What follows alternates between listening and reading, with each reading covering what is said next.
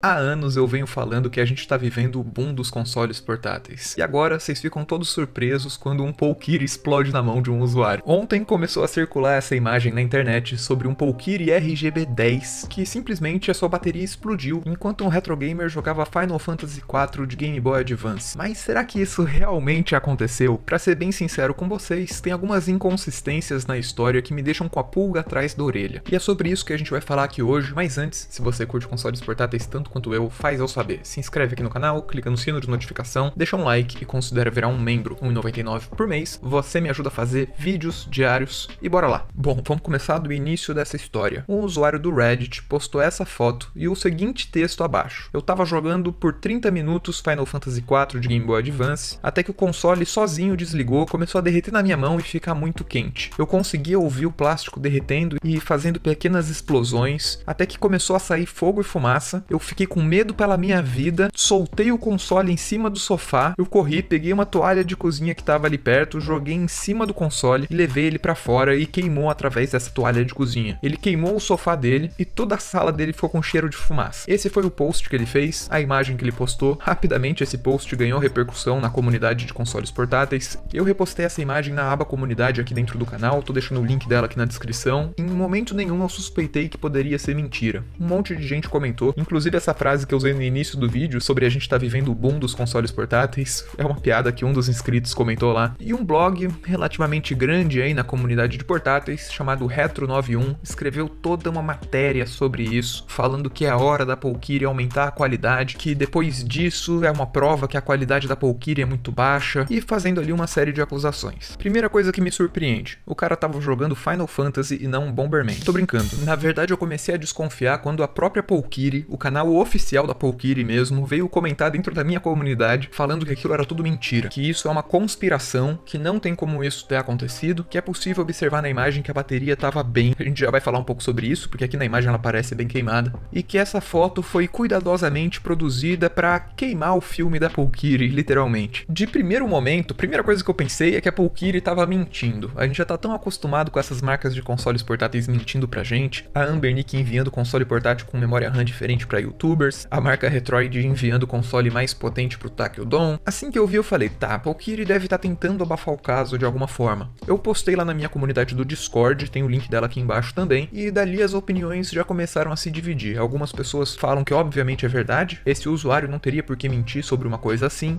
e a outra metade começou a observar algumas inconsistências na imagem. Então eu decidi um pouco além.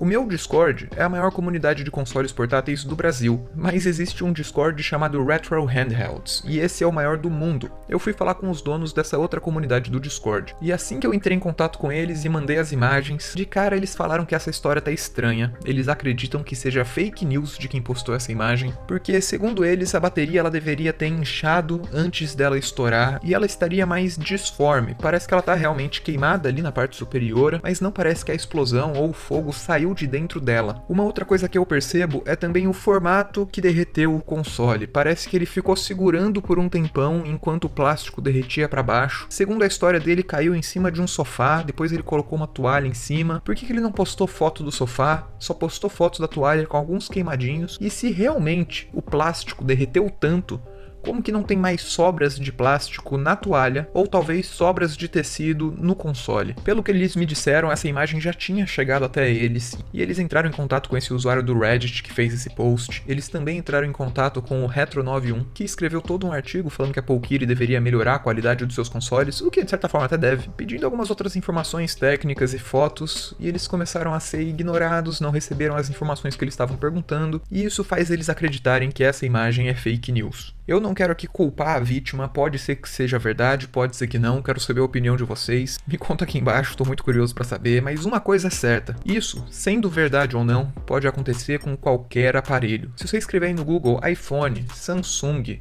qualquer marca de eletrônicos, Battery Explosion, você vai ver várias fotos e vídeos de eletrônicos de ponta acontecendo isso. Até onde a gente sabe, esse é o primeiro e único caso de algum console portátil com a bateria explodindo. E eu acho que é sim possível acontecer em algumas situações. De repente, nessa situação que ele falou, ele estava no sofá tranquilo jogando Game Boy Advance, que é uma plataforma leve, nem deve esquentar tanto o aparelho assim. Se de repente fosse alguma situação tipo, tava muito quente, eu esqueci o console dentro do do carro e quando eu fui ligar ele isso aconteceu, ou eu deixei carregando num carregador turbo, ele de repente ficou muito quente e isso aconteceu. Teria um pouco mais de background na história, mas ele estava só rodando Game Boy Advance e de repente isso aconteceu é um pouquinho suspeito. De qualquer forma, como eu falei, algo assim pode acontecer com qualquer eletrônico que tenha uma bateria, porque esse tipo de bateria, com o tempo, ela pode começar a inchar e ela fica meio gordinha mesmo, levanta ali uma barriguinha nela e realmente se isso acontecer, se ela tiver inchada, pode ser um pouco perigoso. Qualquer impacto, uma pressão muito forte, pode sim fazer ela pegar fogo. Mas agora, de um caso isolado, esse Retro91.com escreveu um artigo inteiro de como a Polkiri tem que melhorar a qualidade dos seus portáteis, porque as coisas estão ficando perigosas de certa forma e chegou a hora de melhorar eles, é tudo um pouco exagerado e tem cheirinho de fake news aí no meio. De novo, não quero aqui culpar a vítima, falar que ele tá mentindo, pode ser que seja verdade, mas que é um pouquinho suspeito é. A Polkiri claramente pode melhorar a qualidade dos seus portáteis, melhorar a qualidade dos botões, das membranas, qualidade do plástico, mas daí falar que os consoles da Polkiri são explosivos de certa forma, que nem as pessoas estavam falando, é daí então que vem o Paul de Polkiri, eu acho que é já esticar um pouquinho demais o raciocínio. Posso estar errado, quero saber a opinião de vocês, me conta aqui embaixo. Se você curte meu tipo de conteúdo, lembra de se inscrever, deixa aqui o like. Muito obrigado por fazer parte dessa jornada. Meu nome é Victor Mini, como sempre. Eu volto no instante.